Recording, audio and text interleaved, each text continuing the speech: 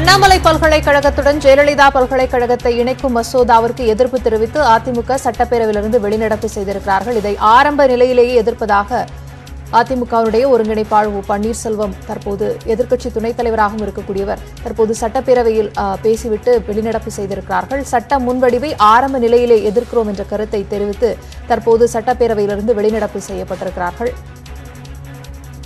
அண்ணாமலை பல்கலைக்கழகத்துடன் ஜெயலலிதா பல்கலைக்கழகத்திற்கு இணைப்பதற்கு எதிர்ப்பு தெரிவித்து அவர்கள் இந்த வெளிநடப்பு செய்திருக்கிறார்கள்.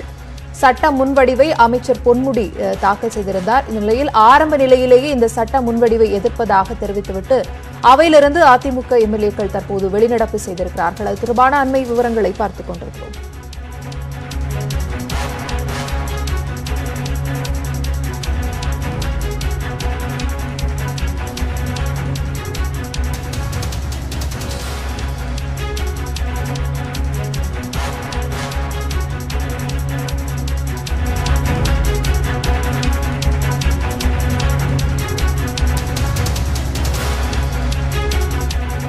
கூடுதல் விவரங்களுடன் செய்தியாளர் தமிழரசு இணைந்திருக்கிறார். தமிழரசி தொடரலாம்.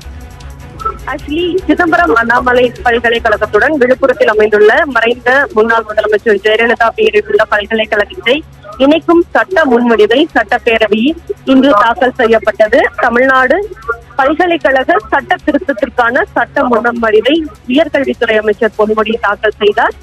ஆஹ் இதற்கு எதிர்ப்பு தெரிவித்து தற்போது அதிமுக வெளிநடப்பு செய்திருக்கிறது.